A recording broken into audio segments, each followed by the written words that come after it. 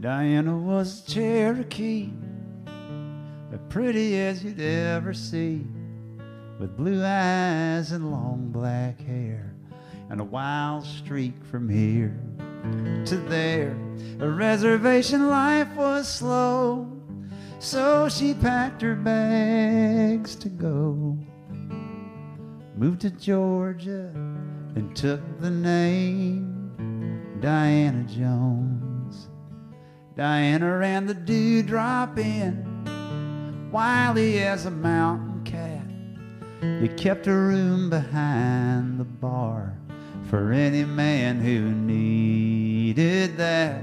If people talk about her still, how she'd take a $20 bill and right across Jackson's face, Diana Jones. She brought all the gold in Georgia back shining, twenty bucks at a time. Harlan wore the badge in town. He was always hanging round, but ever since Diana died, you hardly see him on this side. His wife used to come for him and drag him out of the dewdrop inn. It wasn't fit for a family man to know Diana Jones. Diana made the front page news the night she went out on the loose, heartbroken with a gun in her hand and in love with a married man. The neighbors called the station scared. Harlan had to go down there. And something went wrong somewhere for Diana Jones.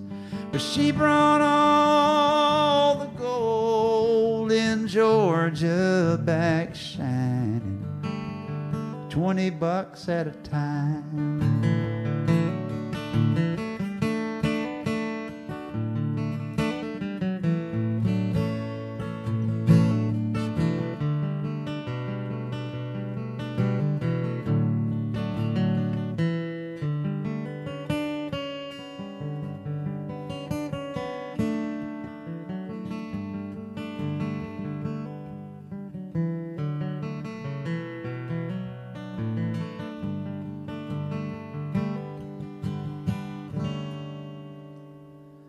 No one knows what happened then between Diana and five armed men.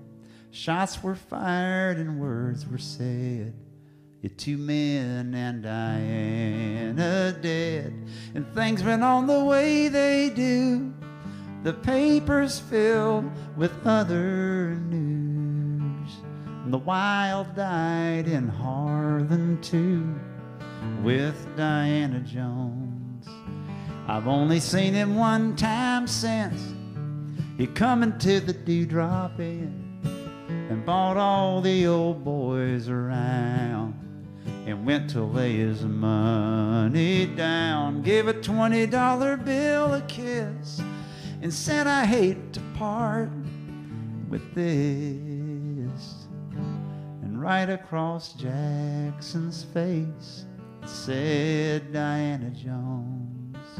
But she brought all the gold in Georgia back shining, 20 bucks at a time.